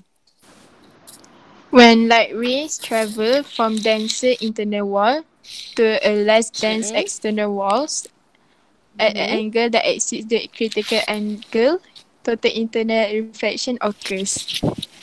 Okay, lepas tu So, uh, you cakap dalam bahasa yang orang faham boleh tak? Afina, dalam bahasa yang orang faham boleh tak? Sebelum you menulis tu. so uh, macam ni, uh, when Tengok balik gambar tu, Kaira. Ha. Ha, macam mana tu? Tadi you kata uh, syarat dia yang pertama dinding lapisan uh, luar mesti less dense daripada uh, daripada lapisan dalam. Okey, lepas tu apa berlaku kepada cahaya tu? so dia akan flag balik, dia tak akan refract, Okay. okay. reflect. Okey, so kita tahu benda ni uh, dinding ni external wall, internal wall itu semua adalah glass tau. Dia adalah glass. Okay, so that bila cahaya masuk, supposed to be kita ada dua fenomena. Satu ialah reflection, satu lagi ialah refract. Refraction, betul tak? So kalau Yes. refraction maksudnya bila cahaya tu masuk dia akan terbias keluar kepada dinding-dinding ni sebab dia glass yang transparent. Betul? So sepatutnya dia Betul. boleh keluar. Tapi kenapa dia tidak keluar? Kenapa dia mengalami fenomena pantulan dalam penuh ni? You ada sebut tadi Sebab- exit apa? Hmm. Sebab uh, critical angle dia lebih besar daripada incidence angle. Eh, incidence angle dia lagi besar daripada critical angle. Yeah. Jadi cahaya yang masuk ni tadi kan dia ada incident angle betul? So incident angle dia adalah melebihi daripada nilai critical angle. Okay, katalah critical angle dia ialah 42 degrees. So cahaya ni incident angle dia dia buatlah 45 degrees. So bila 45 degrees maka total internal reflection akan terjadi. So total internal reflection tu ialah pantulan. Dia tidak refract keluar kepada wall sebaliknya dia pantul balik. Nampak tak? Cahaya tu bounce back. Bounce, reflect, reflect, reflect. Sampailah keluar. Okay, ini nama dia total internal reflection. So total internal reflection ni dua syarat dia. Yang pertama, dia mesti travel dari kawasan denser to less dense. Jadi sekarang ni cahaya tu dia masuk ke kawasan dalam wall dulu. Internal wall dulu, betul? So internal wall dia mesti more dense ataupun denser daripada external wall. Okay? So dua syarat untuk total internal reflection berlaku. Syarat yang pertama dia mesti uh, light travel from denser to less dense. So betul lah ni. Syarat dia. Yang dalam mesti denser, yang luar mesti less dense. Okay, syarat yang kedua, incident angle dia mesti greater than the critical angle. Ha, dua syarat ini dipenuhi, barulah fenomena total internal reflection ini terjadi. Okay, so bila dia mengalami multiple total internal reflection ni, uh, dia akan keluar membawa signal yang sama macam dia masuk tadi. Faham tak? Katalah contoh eh, saya bagi gambaran, dia nak bawa seratus ringgit, eh se- seratus juta ringgit. Contoh, contoh, contoh. Seratus juta ringgit. Daripada bawah ni nak masuk ke terowong yang panjang. So dia bawa duit 100 juta ringgit ni. So kita nak bila dia keluar daripada terowong tu, duit 100 juta ringgit tu adalah nilai yang sama. Macam dia bawa tadi. Masa dia mula-mula masuk. Faham tak? Ah itu konsep total internal reflection tu. Jadi dia sama. Kalau signal yang diterima di bahagian in, kita nak signal yang sama juga diterima bila dia out. Faham? Faham tak? Ha, kalau image yang masuk dalam perut, kita nak bila dia keluar daripada terowong tu, image perut tu adalah image yang sama yang ditunjukkan dekat out tu. Faham? Ha, tak boleh lah dia jadi kalau gambar tu ada apa gambar uh, kawasan berdarah tu bulat macam tu, tak boleh lah bila keluar nanti hanya sebahagian kawasan yang berdarah tu saja yang dirakam. Ah itu itu salah lah. Dia nak 100% signal yang dia hantar mesti diterima 100%. Ah itu kebaikan total internal reflection. Okay? Faham ya? Okay, so macam mana nak tulis tadi Afrina? Incidence angle Ah. uh, must be greater Point, than ah, critical yes. angle. Okay, itu point number one. Okay, incident angle. Eh, sorry, sorry. Point number one tadi tu yang dia punya refractive index. So, refractive index of inner wall is, eh, refractive index is denser than external, external wall. Okay, itu point number one. Okay, point number two. Okay, point number two tadi apa? Incident angle of light must be greater than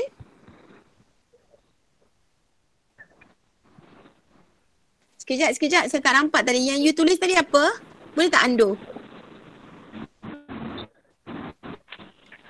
Kira boleh undo tak? Sebab jawapan yang nombor tiga ni when light travel from a denser internal wall to a less dense external wall, angle exceed the critical angle, total internal reflection occurs. Boleh ando balik ke tak boleh? Tu ada batas ando tu.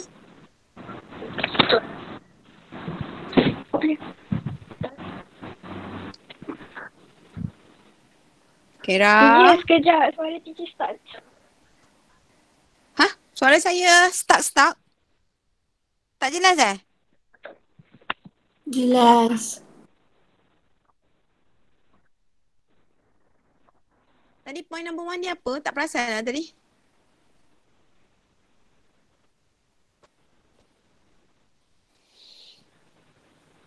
Mana si Afrina? Afrina?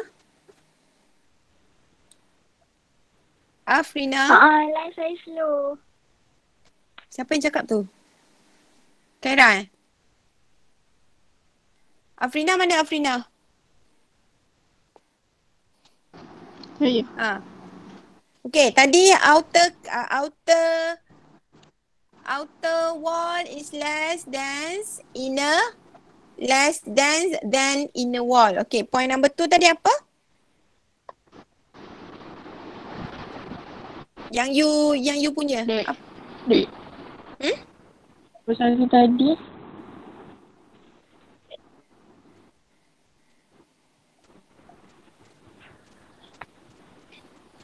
Internal wall of the optic is the internal wall.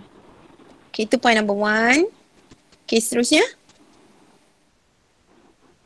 The incident angle of light must be greater than critical angle. Okay, betul.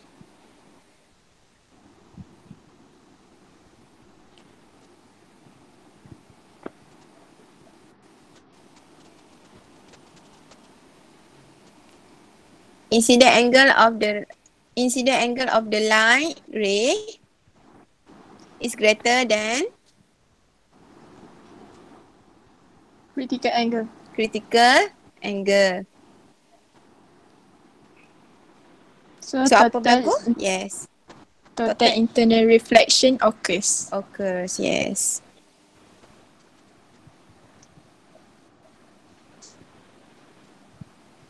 Okay, the last point.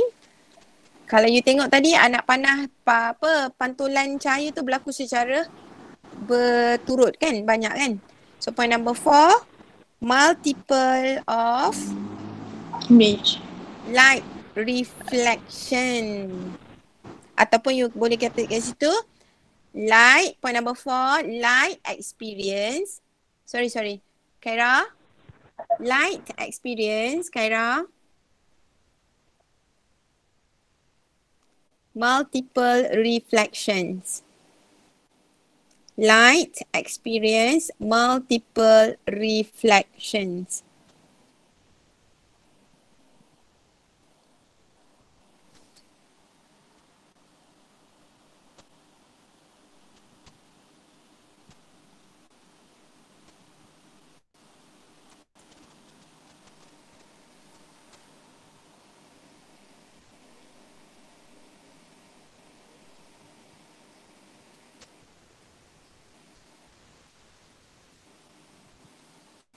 Okay? Dapat?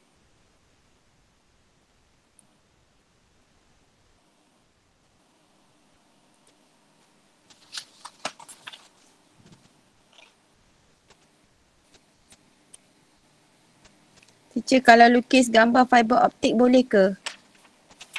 Yelah yang tadi lah. Uh, siapa yang tanya tadi tu? Boleh lukis sebab dia kata soalan ni memang with the help of the diagram. So you lukislah gambar fiber optik tadi yang macam Kaira tunjuk tadi. Tak ada masalah lukis tu. Kemudian you kena explain jugalah. Okay. Dapat? Mana si Kaira tadi? Tak tulis pun?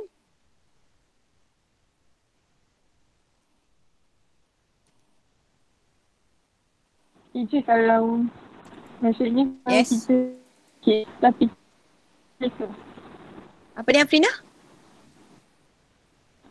Tulis tapi tak kalau apa? lukis je tapi Oh, lukis saja tapi tak explain. terangkan. Uh, kena kena kena tulis jugalah sikit. Okay, tapi kalau lukis tu kena perfect. Bila you lukis perfect tu, dia boleh je bagi empat markah tu. Tapi lebih baik you sertakan dengan penjelasan lah, explanation dia. Ya? Okay. Dah eh?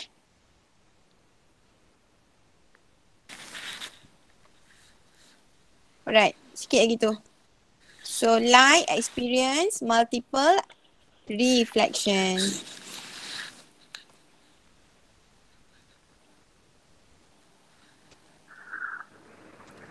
Light experience multiple reflection.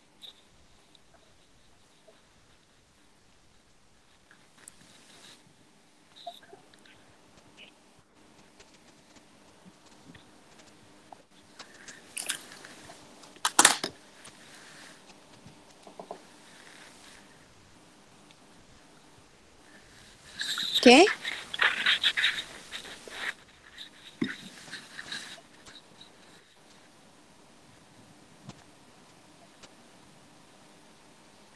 Alright, settle? Okay. Nombor tiga. Mm-mm. You are asked to investigate the characteristic of the materials in table 11.1 Mm-mm. Which could be used to make the optical fiber. Explain the, sus- the suitability of each characteristic and hence determine the most suitable material to be used to make the optical fiber. Mm-mm. Okay, so karakteristik yang dia bagi, refractive index, percentage of light energy absorbed, rigidity. Rigidity ialah ketegaran eh. Okay, kemudian strength. Okay, so high refractive index. Okay, high refractive index, total internal reflection will occur. Will occur, okay betul. Slash kat situ.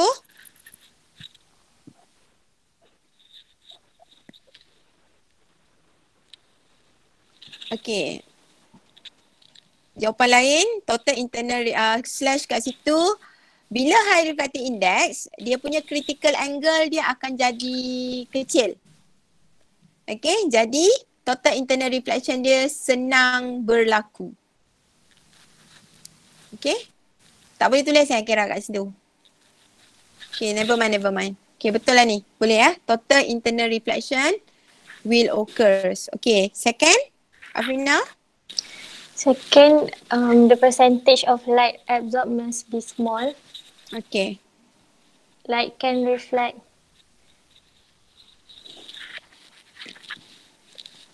Okay, percentage of the light energy absorbed is small or low. Okay, reason. Uh, image brighter.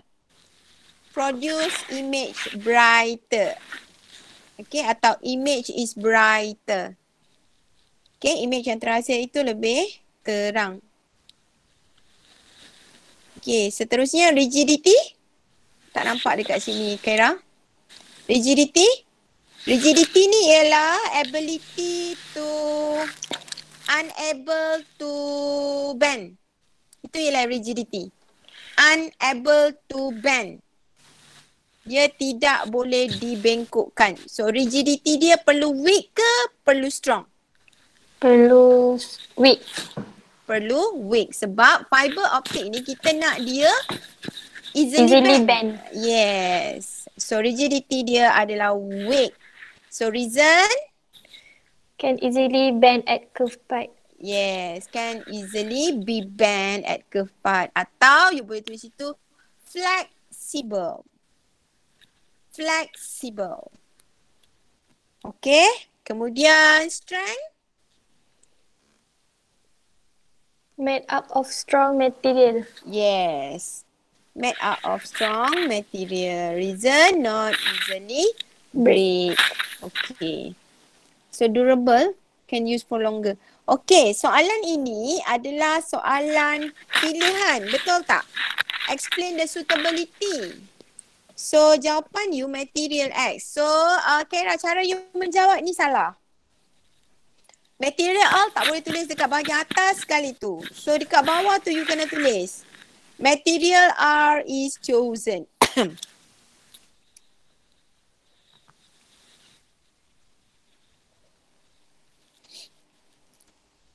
material R is chosen. Okay, ah barulah tulis characteristic of the material R. You index dia high. Percentage of light energy absorbed low. Weak rigidity and strong material. okay. So durable tu sebenarnya extra saja sebab dia kira empat markah je dah betul lah. Dapat lapan markah. Sembilan markah ialah material yang dipilih yang betul dan juga explanation kenapa material uh, R dipilih. Okay, itu markah yang ke sepuluh. Okay, faham ya? Ada apa-apa nak tanya? Yuhu! Ada apa-apa nak tanya? Arisa senyap je hari ni Arisa. Arisa, mana Arisa? Ya, cikgu. Ha. Arisa okey? Okey. Hmm. Alisa, Alisa okey? Nurul Alisa? Okey, teacher. Hmm, okey eh. Alright, okey betul? Ha, itu cara yang menjawab yang betul. Okey, settle. Okey, soalan B sebab saya nak habiskan soalan uh, BC ni. Next question. Adakah Afrina juga yang bentangkan? Uh, tak, saya. Siapa saya? Uh, Auni. Auni, okey. Silakan Auni. Uh, slide. Yes. Miss Kaira. Teacher Afrina yang ni Selain saya slow sangat Oh, okay, okay, boleh. Where is Afrina? It's okay, man. Don't cry. Um, uh, jap. Okay, so bottom, uh, apa tu, coin at the bottom of a tall empty cup in diagram 11.1. Betul? Ah, betul. And the second one, uh, ah yeah, that one. Okay. So satu ada air, satu tak ada air eh. Okay. Okay. B diagram 11.1 shows a coin at the bottom of a tall empty cup. Diagram 11.2 shows the coin at the bottom of the cup when the cup is filled with water. Mm-mm. One, compare the size of the coin in diagram 11.1 and the diagram 11.2 as seen Mm. by an observer above the cup. A booth? Uh, above. A booth? Oh, a booth. Bertenang. Tarik nafas. Oh ni.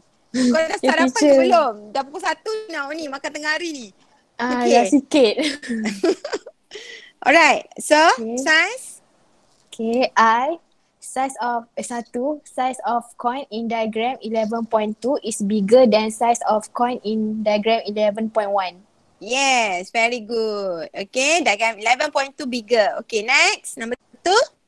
Number two, the depth of water in diagram 11.2 is 16 cm. Calculate uh, the Eh, apparent. kejap. Tadi Yeah. compare the size, state the phenomena. State the phenomena cause the different. Fenomena dia apa? Untuk soalan satu tadi tertinggal. State the phenomena cause of the different size. Refract. Refraction. Refraction. Eh, fenomena refraction. Okay. Ah, ni tadi tak ada tulis eh. Kena tambah. Okay, refraction. Alright. So second one. Uh, second, calculate the apparent uh, apparent depth of the coin when viewed directly from above by the observer. By above Ah. lagi. Above. Kau ni memang above. Above lah. Above. Above by the observer. Okay. Uh, so uh, ni kita ambil formula real depth over apparent depth uh, dapat equal to refractive index. Okay. So mana persamaannya? Uh, slide. Slide please. Uh, so 16 over 4 over 3 equal to 12. Okay. So formula refractive index, you kena tulis dulu ya. Refractive index sama dengan real depth divide Over. by apparent Depth. depth. Ah itu kena tulis dulu. Ah barulah you nak cari ah dia punya apparent eh. Apparent depth kan? Ha, ha. Ah, so Ha. barulah you pusingkan formula tu. Okay? Ah, ni Afrina. Kalau boleh betulkan, ke kalau tak boleh pun tak apalah. Jawapan dia berapa? 12 eh? Ha. 12 apa? Ha. ha. 12 cm. Ah, refractive index equal to apparent depth divide by real depth. Eh sempat lagi korang bertele kat atas tu eh. Tele group. Yang tak ada cikgu. Nampak ni dekat atas ni. Dia punya notification. Okay, baik. Ha, barulah uh, apa? Gantikan nilai. So tu 12 cm tu tolong gan- uh, letakkan unitnya. Afrina?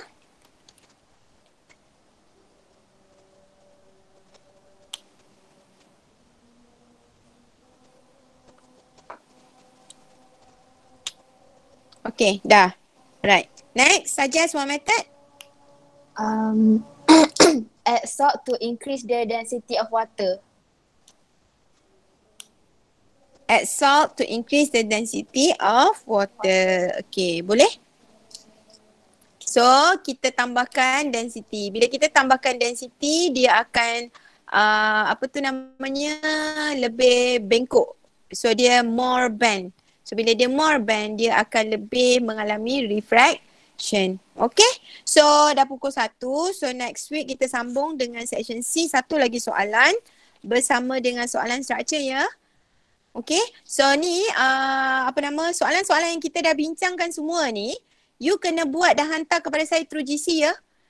Boleh tak? Kan kita dah buat soalan hari tu JUJ tu kan?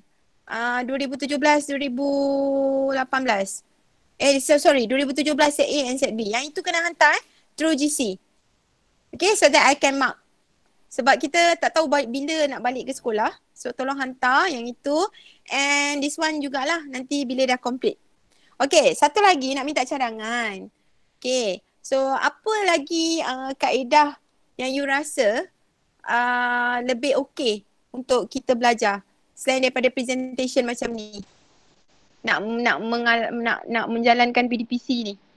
Any any any cadangan? Kita dah on camera semua.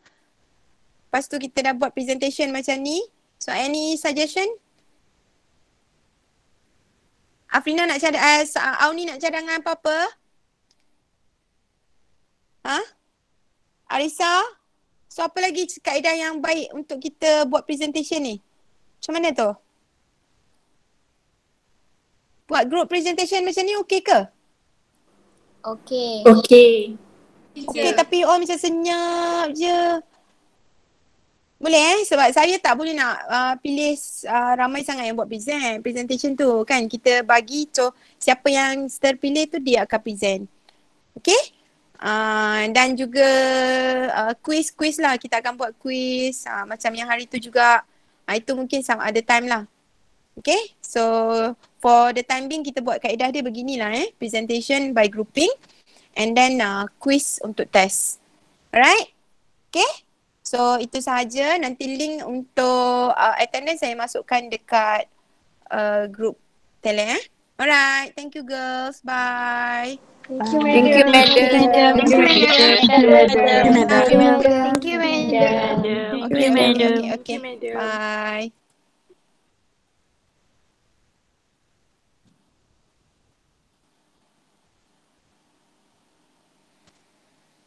Yeah.